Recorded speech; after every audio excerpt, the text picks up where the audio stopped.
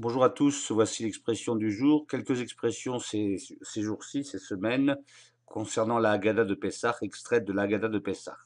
Avarnu et Paro, nous avons dépassé Pharaon, nous avons dépassé Paro, nous avons passé Paro, ou nous sommes passés par Pharaon, hein, on va dire ça comme ça. L'expression euh, veut dire on en a vu d'autres.